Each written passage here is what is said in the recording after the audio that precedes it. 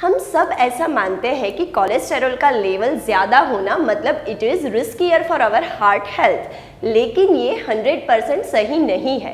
It depends कि आपका कौन सा कोलेस्टेरॉल लेवल ज़्यादा है गुड कोलेस्टेरॉल या बैड कोलेस्टेरॉल अब आपको लगता होगा कि कोलेस्टेरॉल में भी good cholesterol and bad cholesterol होता है। Yes yes. चलिए मैं आपको समझाती हूँ। आपने कभी रिपोर्ट में लिपिड प्रोफ़ाइल में एलडीएल एंड एचडीएल टर्म देखी होगी।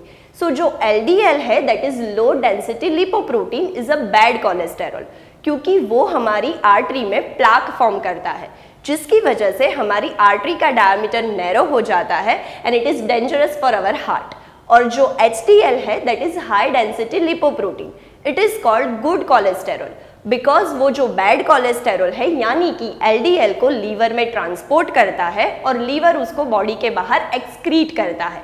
So keep your LDL level low and keep your HDL level in range and stay tuned with us only at Rasayanam.